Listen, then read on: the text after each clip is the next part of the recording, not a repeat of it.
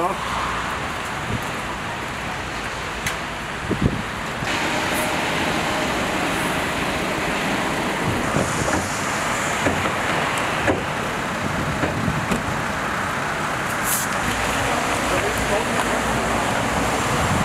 Ja, die haben 10 Öl, Stockfuhr,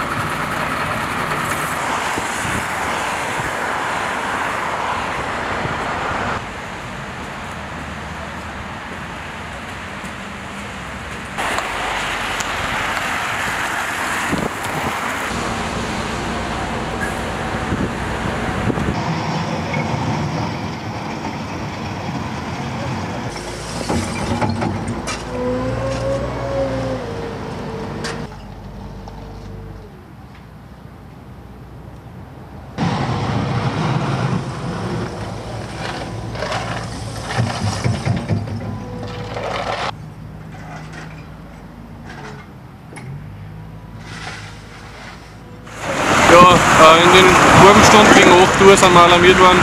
Schwerer Verkehrsunfall, eingeklemmte Person auf dem Knoten Falkenwalds. Was habt ihr beim Eintreffen vorgefunden?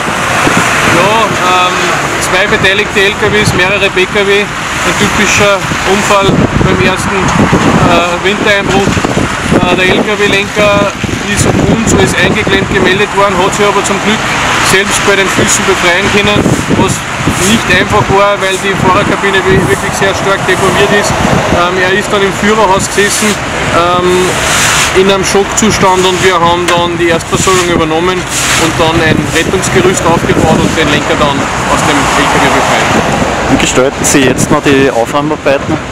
Der Aufräumarbeiten umfangreich. Es war der zweite beteiligte LKW, äh, ein Altglastransporter, der einen Teil der Ladung verloren hat. Äh, das ist äh, wegzuräumen, gemeinsam mit dem Bergerunternehmen jetzt der stark beschädigte LKW, gemeinsam mit dem Rückstau und den vielen Fahrzeugen nicht ganz einfach, aber wir tun unser Bestes.